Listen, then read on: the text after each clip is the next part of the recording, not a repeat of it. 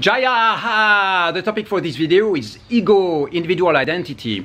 Um, when you start looking at uh, spiritual training, spiritual evolution, your own uh, process of awakening, very often you will hear the word ego mentioned, right? So, what is it? you know, very often there is a very negative connotation about the word ego people go like, yeah, it's just your ego speaking. You have to destroy your ego. You have to dissolve your ego. Your ego is bad.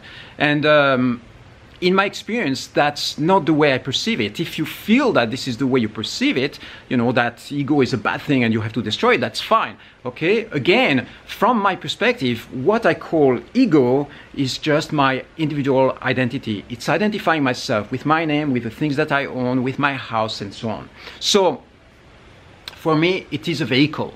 It's the worldly vehicle. It's the vehicle of my personality. I have my egoic identity or my individual identity, which is my name and the things I've been doing, my past, where I was born, all that stuff. That's what I call my ego. And then there is my universal identity, my identity as a divine being, you know, as a spiritual being. Okay? So the egoic identity itself, it's something that I'm using all the time. You know, I'm having fun. I'm taking care of my body. I'm eating certain foods.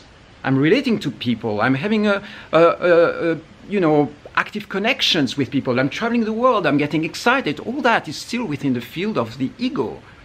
So for me, the, the, the ego has different shades and colors, and some of it is beautiful, and some of it is really ugly. Some of it is in the shadows.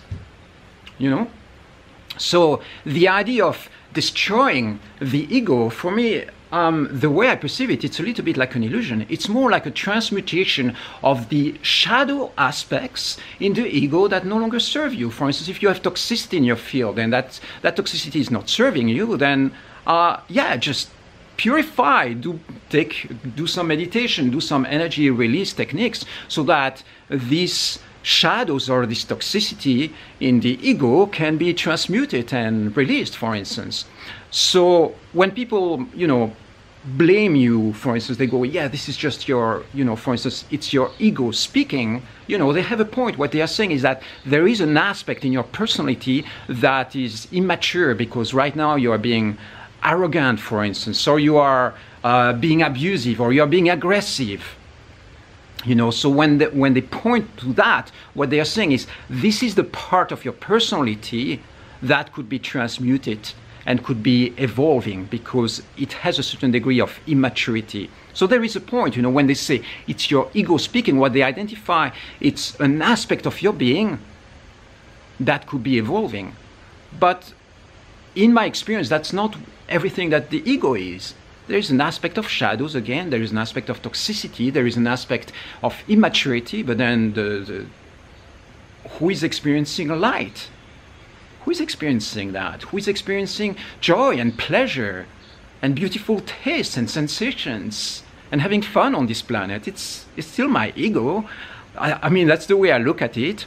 So if it's not the ego find another name you know maybe the the the light body or something you know but for me that's that's still my personality. It's my personality is really enjoying recording this video. Right now i'm having emotions i'm having an overflow of of inspiration coming through me. That's that's still my ego communicating. It's not all there is. My spirit is right there. Yes i'm channeling a certain a certain inspiration or a certain frequency. Yes.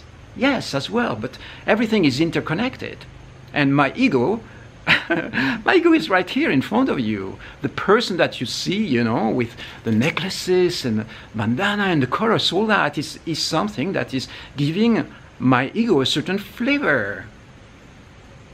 So I'm not sure how you feel about what I'm saying right now. Is this something that you recognize or not? How do you define your, your ego? Do you feel like your ego is a good thing? Is it something that you want to destroy, annihilate? Do you embrace it? Do you go like, I love my ego. My ego is great. So, you know, it's something that you can look at. In my experience over years and years of, you know, meditation and spiritual exploration, what I feel is that um, I'm not an obstruction to my destiny line. It means that somehow the shadow aspects are a little bit out of the way. It means it doesn't mean that I don't have any shadows in my field, but it means that the, the things that would have been an obstruction, the attachments to certain things that don't make sense, have been kind of dissolved, and now I'm in a place where it feels like my channels or my pipes are relatively clean, okay? They are cleaner than where they were when I was 20 years old.